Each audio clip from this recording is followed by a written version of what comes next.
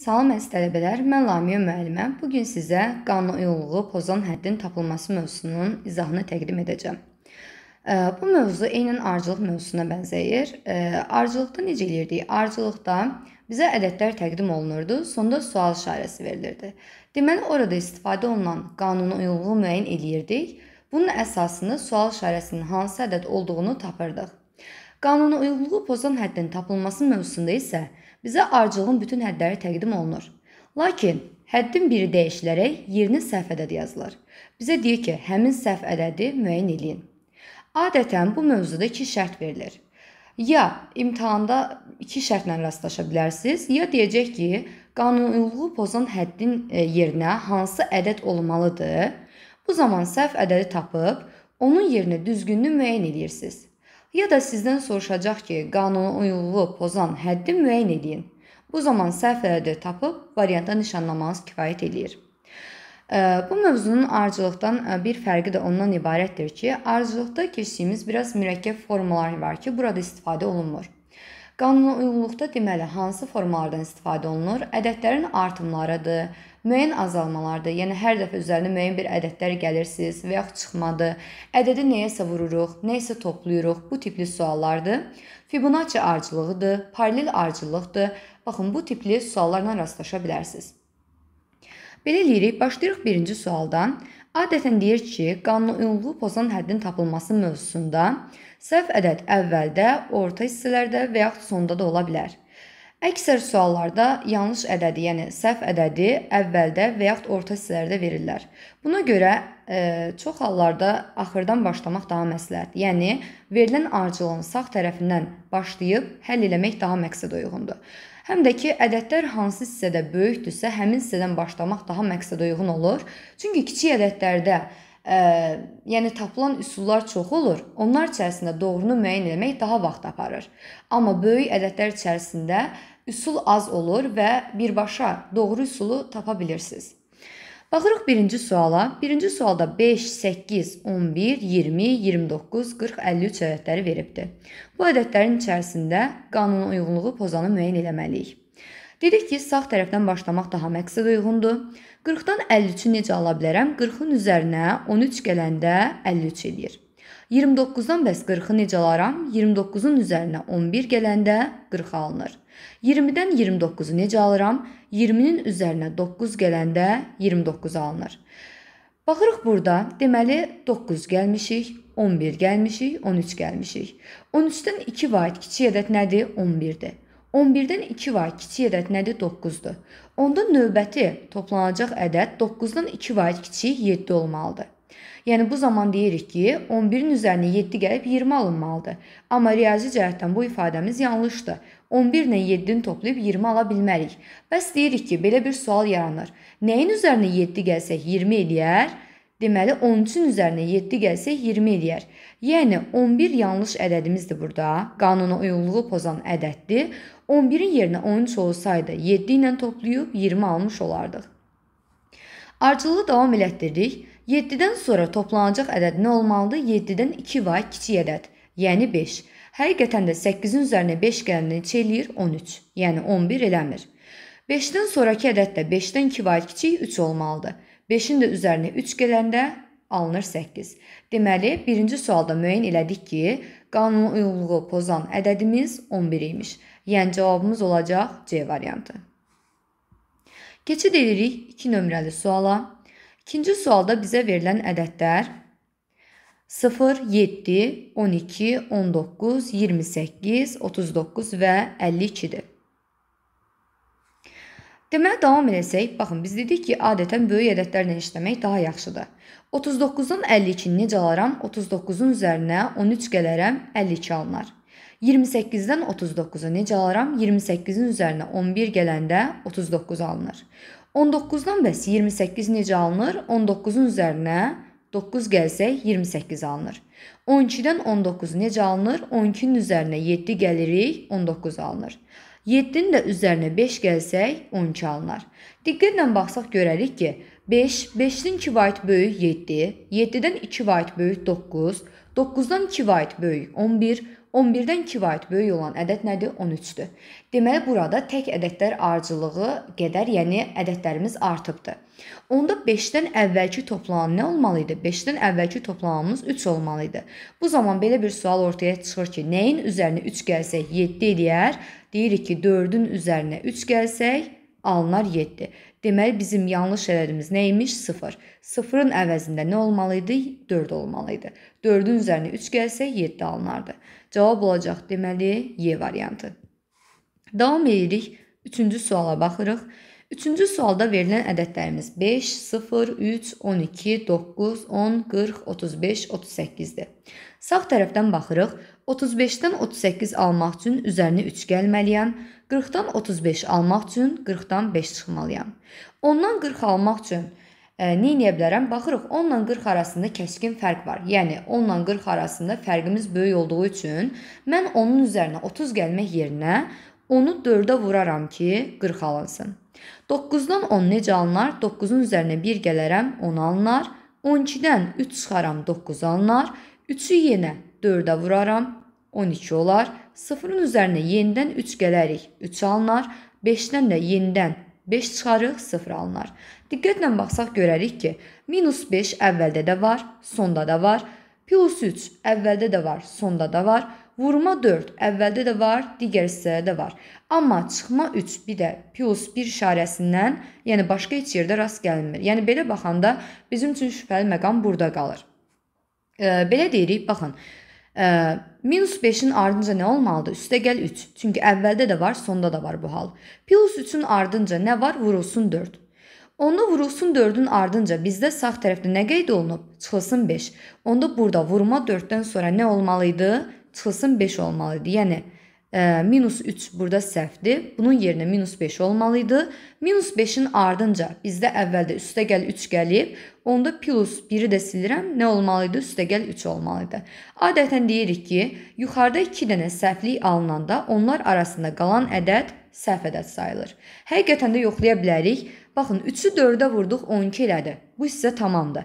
12-dən 3 yox, 5 çıxsaydıq neçə eləməli idi? 7 eləməli idi. Baxın, 12 minus 5 bərabərdir 7-yə. Yəni doğru ə, ədəd kimi götürsək 7 olmalı idi. Deməli, qanuna uyğunluğu pozan ədədimiz nə imiş? 9. Davam etdirsək 7-nin də üzərinə növbəti 3 gələndə nə alınır? 10 alınır. Deməli, digər ədədimizi də ala biliriksə, yəni doğru cavabımız nə olmalıdır? 7. Yəni qanuna uyğunluğu pozanı istəyir. Ona görə cavab olaraq C variantı 9-u götürürük. Baxırıq ə, növbəti 20-ci sualımıza. 20-ci sualda verilən ədədlər 25, 28, 31, 40, 53, 70, 91, 116-dır. Deyirdik ki, harda ədəd fərqi böyüksə, həmin hissədən başlamaq daha məqsədə uyğundur və çox suallarda da sağ tərəfdən başlamaq daha məqsədə uyğun olur. 91-dən 116 almaq üçün 91-in üzərinə gəlməliyəm. 25. 70-dən 91 almaq üçün 70-in üzərinə 21 gəlməliyəm. 53-dən 70 almaq üçün 53-ün üzərinə 17 gəlməliyəm. 40-dan 53 almaq üçün 40-ın üzərinə gəlməliyəm 13. 31-dən 40 almaq üçün 31-in üzərinə gəlməliyəm 9. Burada dayanırıq, ədədlərimizə baxırıq. 25-dən 4 əskik nədir? 21. 21-dən 4 əskik nədir? 17. 17-dən 4 əskik nədir? 13. Onda 13-dən də 4 əskik 9-dur. Deməli növbəti 9-dan da 4 əskik üzərinə 5 gəlməliyik ki, 31 alaq. Deyirik ki, nəyin üzərinə 5 gələndə 31 eləyir? 26-nın üzərinə 5 gələndə 31 eləyir. Yəni 28 qanuna uyğunluğu pozan ədədimizdir. 28-in yerinə doğru ədəd olaraq 26 olmalı idi. 5-dən sonra 5 artımdan da 4 vahid kiçik nədir? 1-dir. Həqiqətən də baxın 25-in də üzərinə 1 gələndə 26 alınır. Deməli bizdən yanlış ədəd istəyir. Ona görə B variantı 28-i götürürük. Növbəti keçid edirik 27-ci sualımıza. 27-ci sualda 175, 393, 169, 478, 489, 698 ədədləri verilibdir.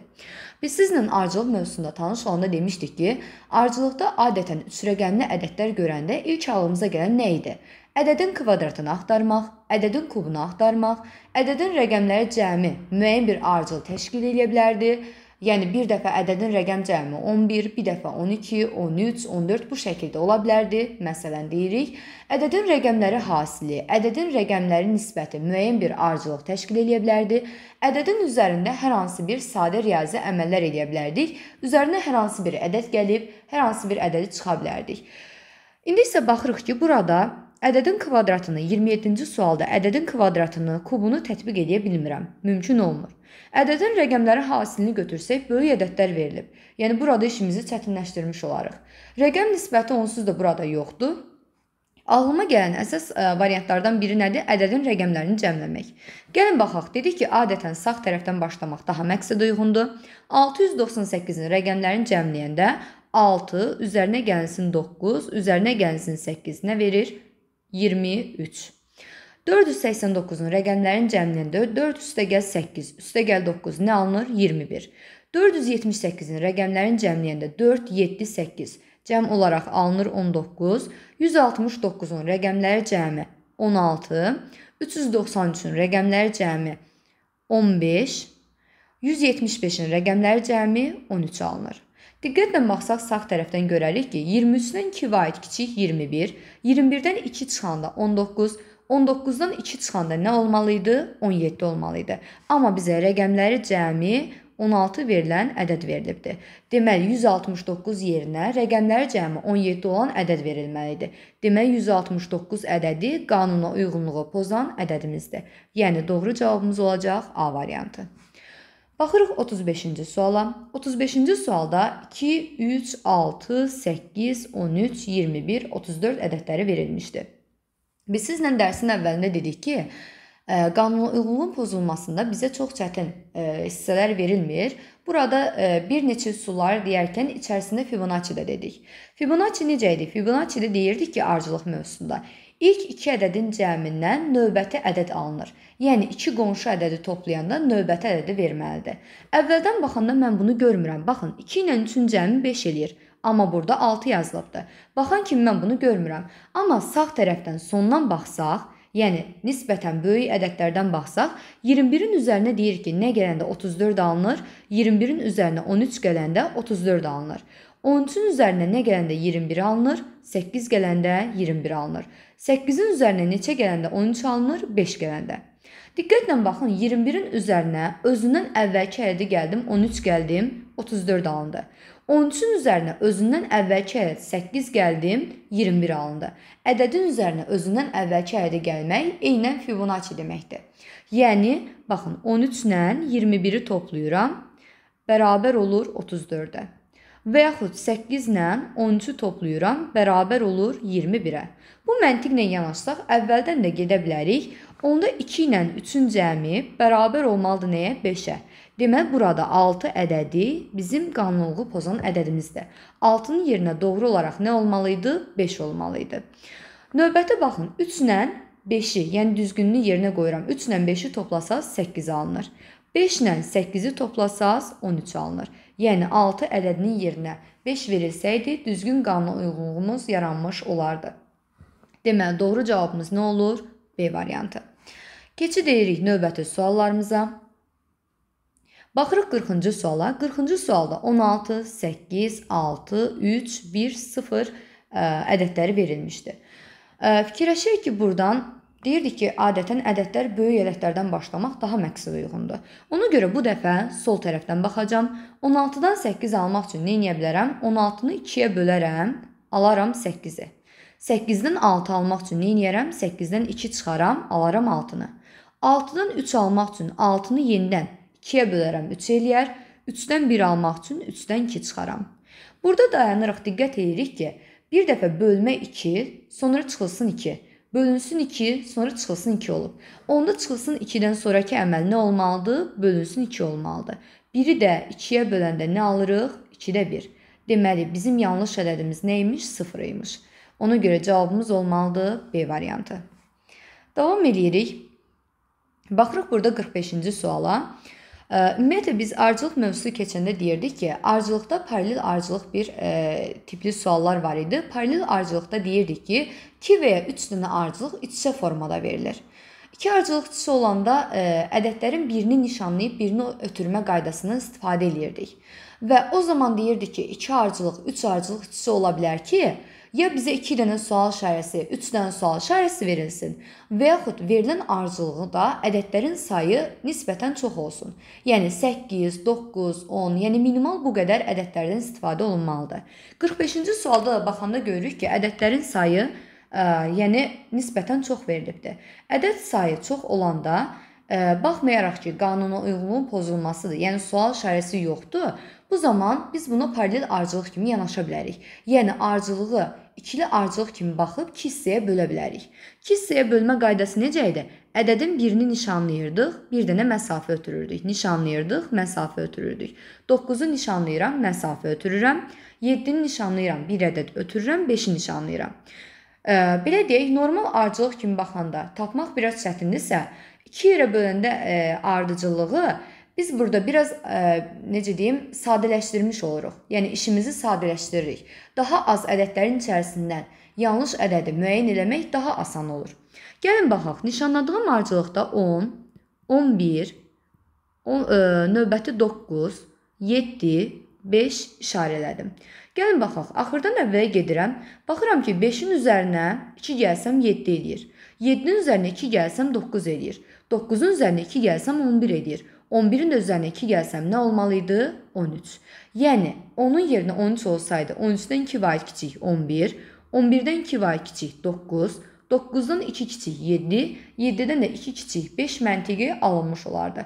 Deməli bizim yanlış ədədimiz nə imiş? 13 imiş. Yerdə qalan ardıcılığa isə baxsaq, qeyd edirəm 15, 12, 9, 6, 3. 15-dən 3 çıxsam 12 alınır. 12-dən 3 çıxsam 9 alınır. 9-dan 3 çıxsam 6, 6-dan da 3 çıxsam 3 alınır. Deməli, digər ardıcılıq, ikinci ardıcılığımızda isə fərq 2 3 3 olaraq göstərir. Deməli, ardıcılığı iki hissəyə bölərək biz işimizi daha da sadələşdirib, yanlış ədədi daha tez müəyyən edə bildik. Dedik ki, bizim yanlış ədədimiz 10-dur, onun yerinə olmalı idi 13. Bizdən də yanlış istədiyi üçün gedib A variantını nişanlayırıq. Davam edirik, gəlirik baxırıq 50-ci suala. 50-ci sualda 37, 20, 38, 29, 39, 28, 40, 27 ədədləri verilmişdi. Biz dedik ki, paralel kimi baxmaq üçün ədədlərin sayı nisbətən çox verilməlidir. Yəni 8, 9, 10 və daha artıq ədəddən istifadə olunmalıdır. Digər tərəfdən paralel olmasını nədən tuta bilərik? Yəni müəyyən edə bilərik.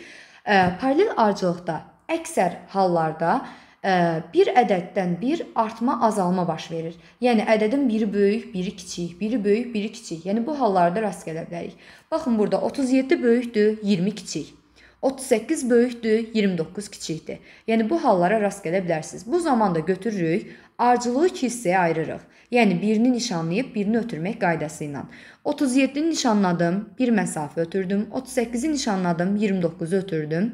39-u nişanladım, 28-i ötürdüm, 40-ı nişanladım. Nişanladığımız ədədləri qıraqda bir yerdə qeyd edirik. 37, 38, 39, 40. Diqqətlə baxsaz görərsiniz ki, 37-nin üzərinə 1 gələndə 38, üzərinə 1 gələndə 39, üzərinə 1 gələndə 40 ədədi alınır. Deməli, nişanladığımız ardıcılıqda heç bir problemli, qanuna uyğunluğu pozan ədəd yoxdur. Onda yerdə qalan ardıcılığa baxırıq. Yəni 20, 29, 28, 27. Baxın, 28-dən 1 çıxanda 27 alınır. 29-dan 1 çıxanda 28 alınır. Bu məntiqə əsaslanaraq desək ki, onda biz nədən 1 çıxanda 29 alarıq? Biz əgər 30 ədədindən 1 çıxsaydıq 29 alardıq. Yəni bizim yanlış ədədimiz nə imiş? 20 imiş. Doğru cavabımız olacaq A variantı. Davam edirik. 71-ci suala baxırıq. 71-ci sualda da ədədləri e, sadalamağa ehtiyac yoxdur. Baxan kimi görürük ki, bizim burada çoxlu ədədimiz var. Bu zaman nə edə bilərik? Götürüb paralel ardıcılıq kimi yanaşa bilərik. Baxın 5, 3-ü ötürdüm 7, 5-i ötürdüm 9, 7-ni ötürdüm 14, 9-u ötürdüm 21, 11-i ötürdük 30 və növbəti 13. Nişanladığımız ədədləri bir qıraqdan yazırıq. 5, 7, 9, 14, 21, 30. Gəlin baxaq. Sondan əvvələ baxmaq dedik ki, daha məqsədə uyğundur. 21-in üzərinə 9 gələndə 30 alınır. 14-ün üzərinə 7 gələndə 21 alınır. 9-un üzərinə 5 gələndə 14 alınır. Burada dayanıb diqqət etsək görərik ki, 9-un 2 vahid kiçik 7-dir. 7-dən 2 vahid kiçik 5-dir. Onda 5-dən 2 vahid kiçik 3 olmalıdır. Yəni əvvəlki artımımız 3 olmalıdır. Bu zaman deyirik ki, nəyin üzərinə 3 gəlsək 9 alınar. 7 yox, 6 götürsəydik, 6-nın üzərinə 3 gəlsəydik, alınardı 9. Davam eləsək, 3-dən də 2 vahid kiçik olan ədəd 1-dir. Həqiqətən də 5-in də üzərinə 1 gələndə 6 ödəyir. Deməli bizdən yanlış ədəd istədiyi üçün variantda A variantını 7-ni götürürük. Digər ədədlərimizə, yəni ikinci ardıcılığa diqqət eləyək. Gəlin baxaq, görək nə alınır. İkinci ardıcılığın ədədlərini qeyd eləyirəm.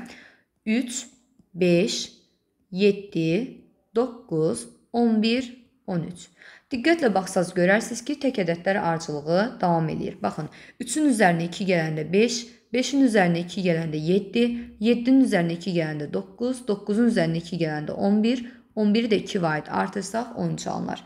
Həqiqətən də bizim doğru cavabımız nə imiş? A variantı, yəni cavabımız imiş. Davam edirik. Baxırıq burada 81-dən sonrakı suallarımıza. 81-in əvvəlində belə bir şərt yazılıb. Qanuna uyğunluğu pozan həddin əvəzinə hansı ədəd yazılmalıdır?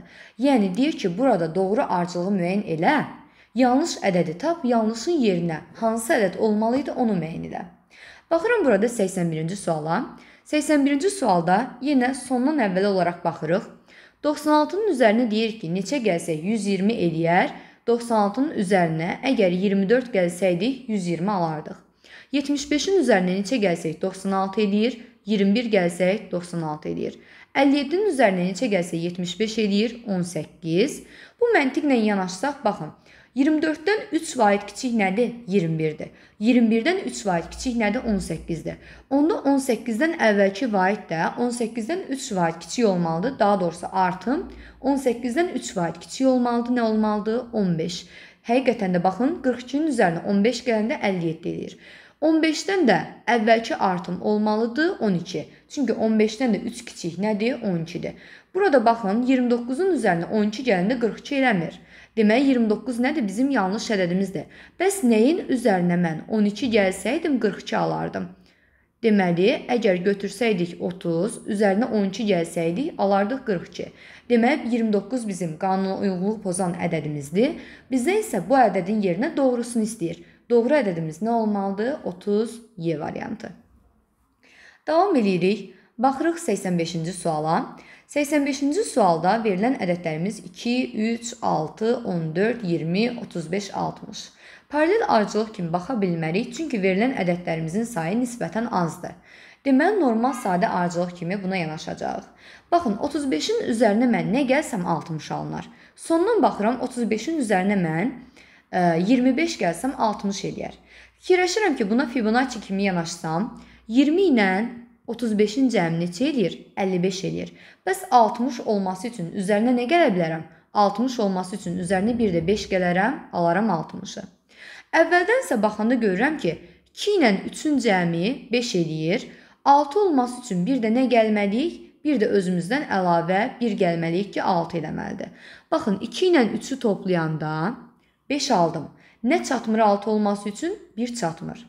Sondansa baxıram, 20 ilə 35-i toplayıram, eləyir 55. 60 olması üçün nə çatmadı? 5. Baxın, bu orta hissələrdə problem yaranacaq. Çünki bizim burada yanlış ədədimiz orta hissələrdədir. 14 ilə 20-ni toplayanda neçə eləyir? 14 ilə 20-ni toplayanda 34 eləyir. 35 eləməsi üçün 1 çatmır. Mən bu məntiqlə yanaşsam, yəni doğru cavabı tapa bilmərəm. Amma baxın, 1 ilə 5 artımı arasında hansı artımlar ola bilər? 2 ola bilər, 3 ola bilər, 4 ola bilər. Deməli, burada baxsam, 3 ilə 6-nı toplasam 9 eləyir. Üzərinə 1 də 2 gəlsək nə alardıq? 11 alardıq. Yəni 14 yox, 11 almalıydıq. 6 ilə 11-i toplasaq 17 olardı.